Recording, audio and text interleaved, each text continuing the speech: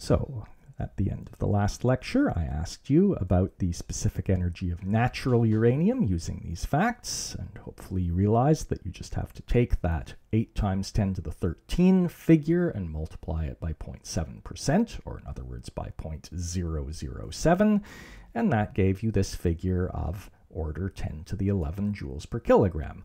That is still about 10 to the 4 times what we get from chemical reactions. And this is now a more reasonable estimate of the energy per kilogram of uranium that we dig out of the ground, and so it's more useful for estimating the availability of this as an energy source for all of humanity. The question of how much uranium is available and how long it could provide power for us is a difficult one to answer. And if you look around, you're going to see a lot of different claims, from decades to thousands of years or longer. And what we're seeing here is actually part of the reason for this huge disagreement. This practical specific energy of natural uranium is roughly true for conventional reactors, which only can extract energy, approximately, from the fissile U-235. However, the more optimistic figure of about 8 times 10 to the 13 joules per kilogram, which would assume then that we can extract the energy from fission of U-238, would be correct for advanced reactor designs like breeder reactors. If you see short estimates of uranium reserves, for example in the region of decades, those people are probably assuming conventional reactors which can only get power from the U-235. The longer estimates of uranium reserves will be assuming the use of advanced reactors such as breeder reactors. I'll now spend the rest of this video mostly looking at the more practical aspects of how a nuclear reactor works. And the first thing we have to understand is the fission chain reaction. So if we produce three neutrons from a fission reaction, those could, in principle, go on to produce three more neutrons each. Now, first of all, you might notice a question, sort of a chicken and egg question. Where did that original neutron in this chain come from? Well, so the answer to which came first, the neutron or the fission, is in fact the fission.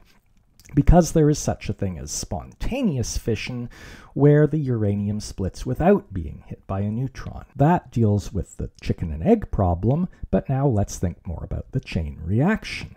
That chain reaction will grow and grow and keep growing, I can't really draw it any further than this, so I'll just say etc.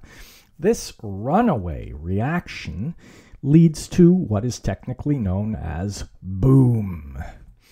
This is what happens in an atomic bomb and is also, avoiding a bunch of complications, what happened in the Chernobyl disaster.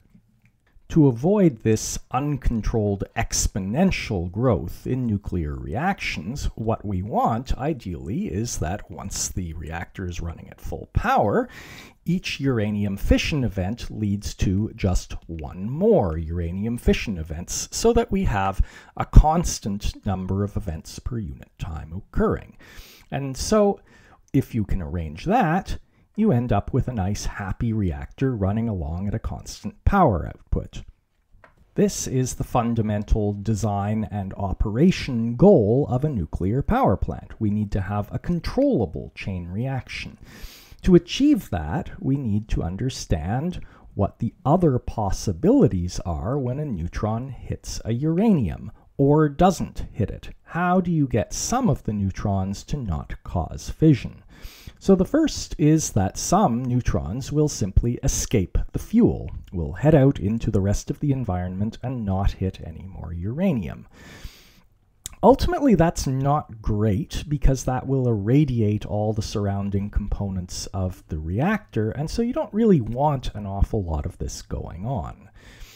The other possibility is that the neutrons can be absorbed by some material other than uranium, which will absorb neutrons without undergoing fission. There are additional possibilities besides this that I'm not going to look at.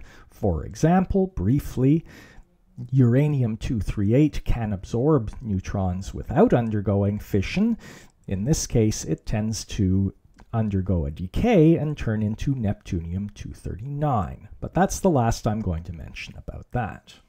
Let's now discuss how a nuclear reactor is actually controlled. In the reactor, the uranium is often in the form of fuel rods. And if we just assemble a bunch of fuel rods together, what will tend to happen is that the neutrons will just escape.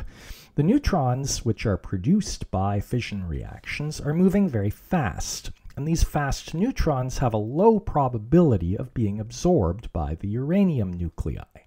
And so we get no sustained chain reaction if we do this. What's needed is a moderator. Common choices of moderator are water, heavy water, or graphite. The common feature being that these all contain atoms of very low atomic mass. The neutrons collide with these atoms and give up some of their energy to them, and as a result, after a few collisions, they're moving much more slowly. These slow neutrons are able to be absorbed by the uranium.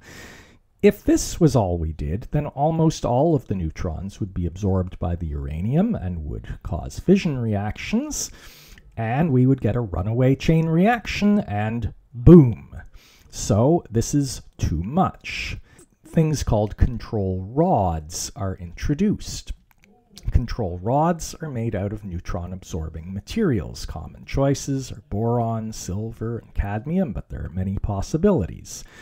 These are materials that simply soak up the neutrons. And this allows us to control how many neutrons make it back to the uranium on average. And this can be tweaked to get the reactions going at the desired rate. As with the other energy sources we've looked at, I'll just finish up with a quick discussion of efficiency and capacity factor. So, nuclear reactors are thermal power plants, just like fossil fuel plants, and so all that's going on is we are replacing the chemical energy converted in a furnace to thermal energy with nuclear energy in a core converting to thermal energy. Typically, nuclear reactors run at a somewhat lower high boiler temperature than fossil fuel plants, basically to maintain better safety margins. And as a result, while fossil fuel plants often have efficiencies around 0.4, nuclear plants are somewhat lower, usually more like 0.3. One of the things often pointed out as a big advantage of nuclear power is the high availability and capacity factors. And it's important, though, to look at the reasons for this. In fact, fossil fuel and nuclear power plants have nearly identical availability factors. The range is mostly to do with age. Older plants have lower availability factors.